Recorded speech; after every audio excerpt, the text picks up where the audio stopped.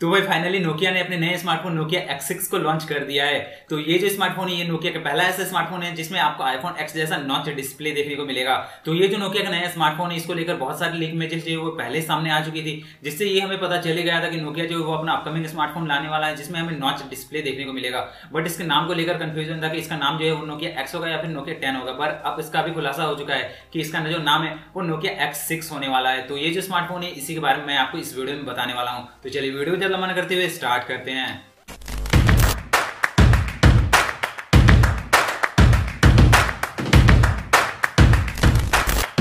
भाई नोकिया ने अपने नए स्मार्टफ़ोन नोकिया X6 को लॉन्च कर दिया है तो इसको लेकर बहुत सारे लीक इमेजेस जो वो पहले लीक हो चुकी थी। तो अब ये जो स्मार्टफ़ोन ये अब लॉन्च हो चुका है। और इस स्मार्टफ़ोन की खास बात ये है कि इसमें हमें नॉच डिस्प्ले देखने को मिल जाता है, जिसमें आपको ऊपर की तरफ़ एक छोटा सा नॉच देखने को मिलता है। इसकी जो डिस्प्ले वो पूरी तरीके से बेजललेस है। बस आपको नीचे की तरफ़ छोटा सा एक बेजल देखने को मिलेगा, जहाँ पे आपको नोकिया की ब्रांडिंग दी गई है, जो कि स्मार्टफ़ोन को काफ़ी कूल लुक देता है। तो नोकिया एक्स के हाईलाइटेड फीचर की बात करें, जिसमें हमें आईफोन एक्स जैसा नॉच डिस्प्ले देखने को मिल जाता है, साथ ही इसमें हमें डुअल रियर कैमरा देखने को मिल जाता है। और अगर इसकी प्राइस की बात करें तो कंपनी ने इसे तीन वेरिएंट में लॉन्च करा है, जिसकी जो प्राइस है, वो लगभग तेरह हज़ार रुपए से अठारह हज़ार रुपए तक रखी गई है। तो सबसे पहले तो हम इस स्मार्टफ़ोन की प्राइस को लेकर ही बात कर लेते हैं। तो जैसा कि मैं आपको वीडियो में पहले बताया कि इसे कंपनी ने तीन वेरियंट में लॉन्च करा है तो इसका जो पहला वेरिएंट है, वो है चार जीबी का रैम और बत्तीस जीबी इंटरनल स्टोरेज वाला, जिसकी जो कीमत है, वो तेरह हज़ार आठ सौ रुपए के करीब रखी गई है।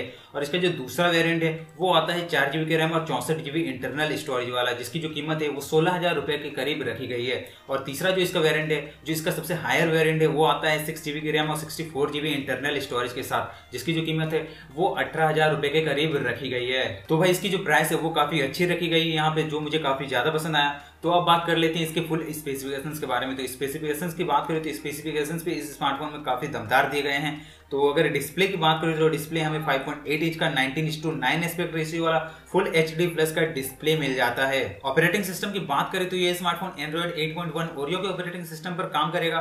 और अगर प्रोसेसर की बात करें तो इसमें हमें 1.8 गीगाहर्ट्ज का ऑक्टा कोर स्नैपड्रैगन 636 का प्रोसेसर दिया गया है। तो अब बात कर लेते हैं इसके कैमरे की। तो कैमरे की बात करें तो इसमें हमें डुअल रियर कैमरा का सेटअप देखने को मिल जाता है, जिसमें हमें प्राइमरी कैमरा जो है वो सिक्सटीन मेगा का दिया गया है और सेकेंडरी कैमरा जो है वो फाइव मेगा का दिया गया है। और अगर फ्रंट कैमरा की बात करें तो फ्रंट कैमरा हमें यहाँ 16 मेगापिक्सल का मिल जाता है। साथ ही बेहतर फोटोग्राफी के लिए इसमें एआई फीचर को भी ऐड करा गया है। साथ ही स्मार्टफ़ोन के बैक साइड में हमें रियर कैमरा के ठीक नीचे फिंगरप्रिंट स्कैनर देखने को मिल जाता है, जिसे काफ़ी सही जगह प्लेस करा गया है। एक्सटर्नल स्टोरेज की बात करें तो इसमें आप वन ट्वेंटी तक की माइक्रो एस कार्ड को इंसर्ट कर सकते हो। साथ ही इस स्मार्टफ़ोन में हमें तीन हज़ार का बैटरी मिल जाता है। इस स्मार्टफ़ोन की खास बात यह भी है कि इसमें 18 वाट का चार्जर दिया गया है, जो कि आपके स्मार्टफ़ोन को लगभग आधे घंटे में 50 परसेंट चार्ज कर सकता है, और ये पॉसिबल हो पाता है क्विक चार्ज 3.0 के कारण। साथ ही मैं आपको बता दूँ कि इस स्मार्टफ़ोन में हमें यूएसबी टाइप सी पोर्ट मिल जाता है, जो कि इस प्राइस रेंज में काफ़ी अच्छी बात है। कनेक्टिविटी की बात करें तो ये जो स्मार्टफ़ोन ये फोर जी वोल्टी को सपोर्ट करेगा।